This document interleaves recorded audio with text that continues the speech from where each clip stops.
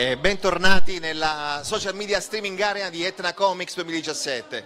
Come, abbiamo, come ormai è strenna dei nostri incontri l'ultimo giorno di Etna Comics, abbiamo come ospite il, il vero, il, la vera testa, la vera mente, il vero coordinatore di Etna Comics che è Antonio Mannino. Ciao Antonio. Dove l'applauso? Eh? C'è l'applauso? Sta per partire un applauso. Eh, grazie, me lo faccio io, guarda solo. Ecco, vai. Allora, Antonio, dunque, le, ti dico la mia esperienza. Abbiamo avuto grandissimi ospiti, eh, sia del mondo del comics, del mondo della cultura pop, del cinema, eccetera, eccetera. Che sensazioni hai tu dal punto di vista, diciamo così, organizzativo, delle persone, del, del, dell'aria che si respira? Vai! Tu parli proprio di percezione. Allora io penso che Comics sia ormai un'età della maturità, insomma, della conferma. Io mi auguro che eh, insomma, sia diventata un appuntamento sai di quelli imperdibili, no? Tipo, che ne so, uh, la spaghettata, le cozze a Ferragosto, sono imperdibili, cioè a Ferragosto si mangiano le cozze, uh, oppure gli auguri di Capodanno, sono di quelle cose che non puoi non fare. E quindi ehm, sono un po' prepotente, anche un po' troppo ottimista nel pensare questo, però insomma, mi auguro che sia diventata una, una realtà eh, imprescindibile e rinunciabile. D'altronde lavoriamo un anno per inserire all'interno del programma una serie fittissima di attività che accontenti veramente tutti e questo è quello su cui sono certo di essere, di essere riuscito insieme allo staff meraviglioso che ho. Guarda, io ti dico la mia esperienza, intervistando sia eh, persone del mondo del fumetto che persone del mondo del, del cinema, eh, la, la, sensazione che eh, sia eh, diciamo così, fumet, fumettisti amici come Don Alemanno, sia altri personaggi che comunque frequentano Etna Comics dicono che non possono mancare a, questa, a questo incontro, ecco, a questa strenna annuale.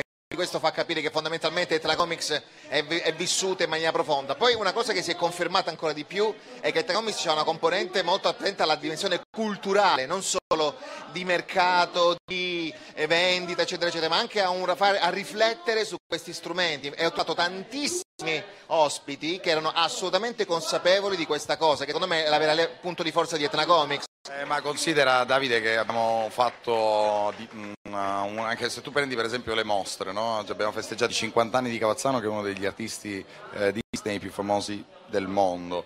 Eh, c'era una mostra di Eisner e Frank Miller con gli originali di Frank Miller che è di fatto Eisner quello che ha inventato il fumetto moderno, cioè c'erano delle tavole originali qui, ehm, questo per quanto riguarda chiaramente il comics, un manifesto incredibile realizzato da Alex Malev, non so se è stato vostro ospite, ma insomma ehm, una persona disponibilissima, un artist alley con artisti del calibro di Camuncoli, di Esa Ribic, di Mirka Andolfo, di David Lloyd, quindi è chiaro che l'aspetto comics è stato sviscerato in tutti i suoi aspetti. Ehm, a questo si è aggiunto anche tutto il resto della cultura popolare, quindi dal gaming al, al videogaming, eh, le web star con una YouTube Alley attrezzatissima e tra l'altro brillante ed efficiente e eh, un reparto legato al cinema che ha avuto ospiti eccezionali, quindi per tutti i gusti davvero. Sì, guarda, da questo punto di vista è molto bello perché eh, ci sono state un paio di giornate, penso sia ieri che oggi, in cui veramente la dimensione generazionale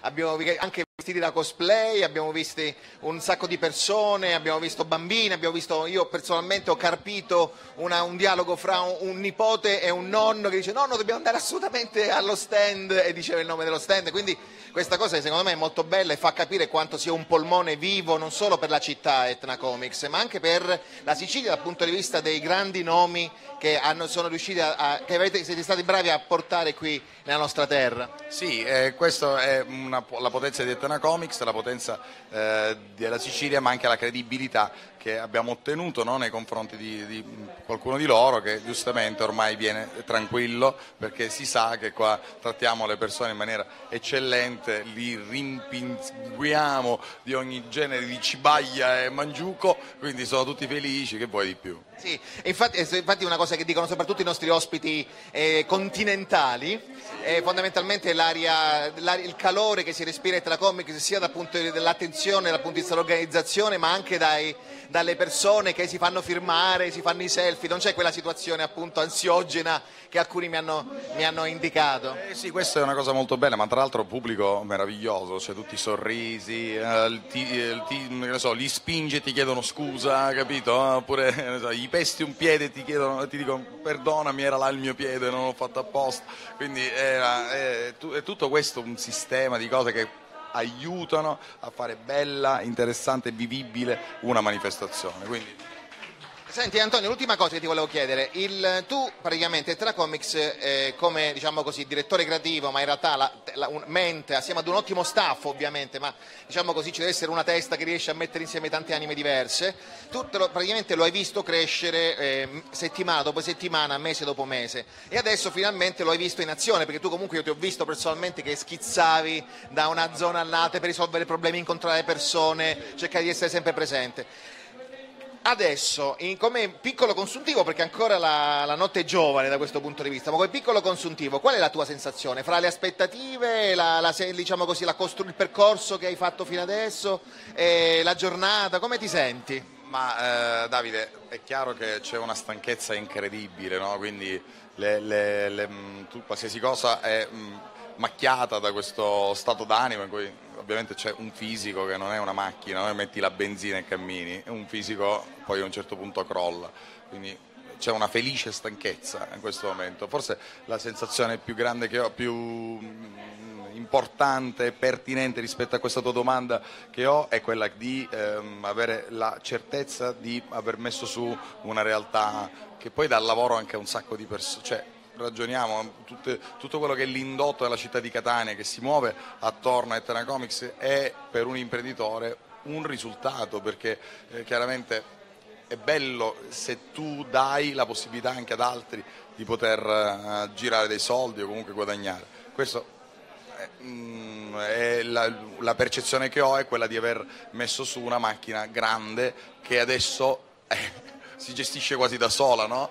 diventa paurosa è come se ho costruito un palazzo enorme, sono là sopra e insomma in qualche modo lo de- devo gestire, devo scendere le scale, devo fare qualcosa, posso guardare dal basso verso l'alto, cioè, non è più una cosa che mi prendo in braccio e, e sposto, è, esiste, è una realtà a sé stante.